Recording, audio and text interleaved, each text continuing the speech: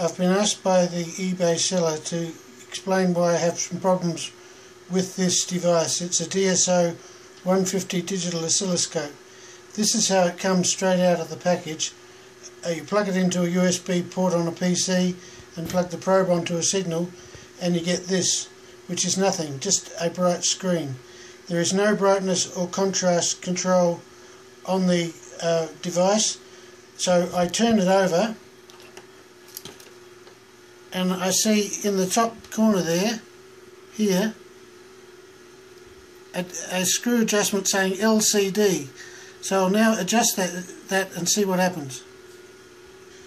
Now I've made that adjustment and there is in fact something I can see on the screen which is very hard to show on the on the um, computer because it is just so faint. Um, this um, phone camera doesn't have much contrast ability, but there it is. You can see down the bottom of the screen there's a, a little waveform, square waveform. Um, th there's some writing on the right hand side that's very blurred. The waveform is not adjustable, you can't move it up or down the screen or change its amplitude because there is no vertical amplifier on this device or attenuator. Um, the waveform I'm using is a 1 uh, volt peak to peak square wave at 1 kilohertz coming off the Crow uh, calibration point on a proper oscilloscope. I'll show that now.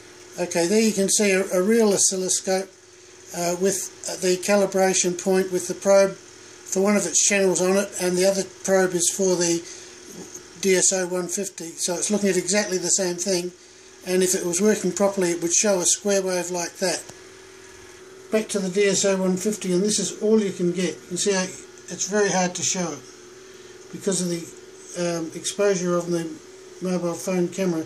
But there you can see there is a, a, little square wave there at the bottom. You can't synchronize it, there's no synchronizing adjustment. You can change the time base and make it wider or narrower. Um,